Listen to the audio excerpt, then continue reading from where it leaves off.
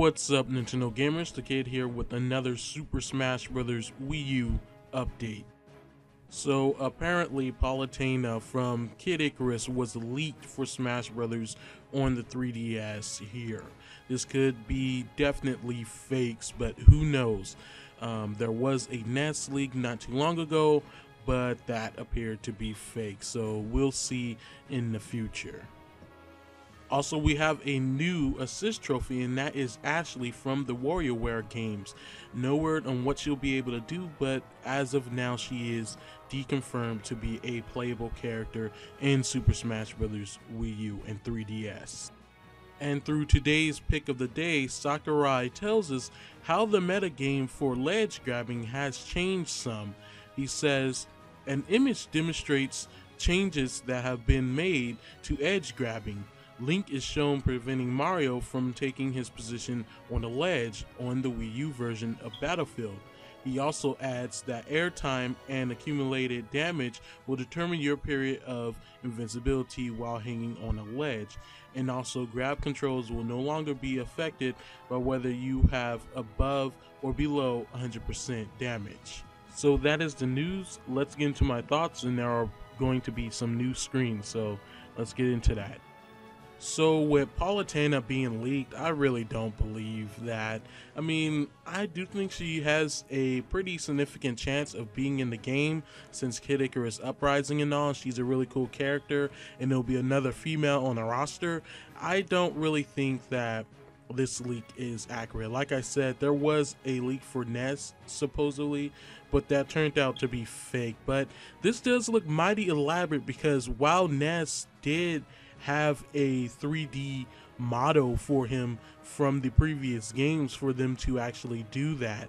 Um, Palutena actually doesn't. I don't think in Kid Icarus Uprising there was a model, like a 3D model for Palutena, unless it was through like some type of trophy or something. I'm not.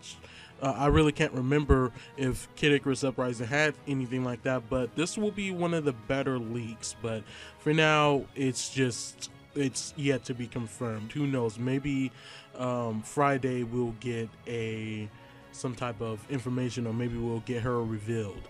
So about the whole edge grabbing metagame being changed. Um, I really don't know what Sakurai meant by that last term. He says grab controls will no longer be affected by whether you have above or below 100% damage. I really don't know what he meant by that, but um, it is good to know that airtime and and accumulated accumulated damage will determine your period of invincibility while hanging. That way, people can't just ledge grab any old way they want, and they can actually be attacked, and you know won't have super broken invincibility. I'm not saying that uh, Brawl had a lot of invincibility, but it had more than Melee's, which sometimes would get annoying, but not really. Um, so that's good. That's a good change, actually. And so we have a bunch of pictures we're going to go through really quickly um, of like Zelda, but I'm I can't get all of them in the video. Um, trust me, I'll try. But yeah, there's some of the pick of the day pictures in here, also um, from previous days. So what do you guys think about the information? What do you think about the Palutena link? I don't think it's real. I mean, who knows? We can get a reveal on Friday or sometime. Um, it would be nice to have Palutena, like I said, adding to the female roster, which there's a lot of females in this this time, and Sakurai really wanted more females in Smash Brothers, so this will definitely contribute to that.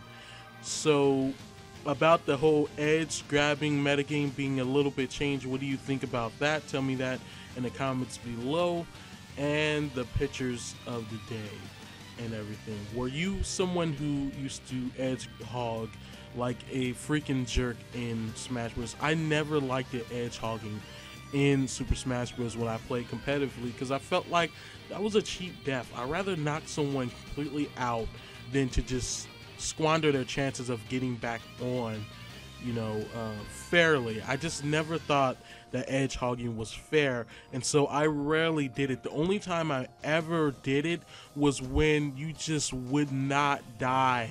And yes, I'm looking at Snake. Snake never freaking gets ringed out easily, and that's the only time where I actually ledge grab was with him and I believe Zelda too. Zelda is hard in Brawl to actually get out the ring sometimes, uh, so I would use that tactic because I was getting absolutely tired of the person not dying and they having way more than 100% and somehow still surviving and won't get a ring out. So yeah. So yeah, that's it for this update, guys. I have more updates on Super Smash Bros. Wii U as more things are revealed. Thank you for watching. Sources, of course, will be in the description below if you want to see where this news came from. And also, don't forget to like this video and subscribe to my channel for more updates on Super Smash Bros. for Wii U and other Nintendo games coming up very soon. Thank you guys for watching, and I'll see you guys next update.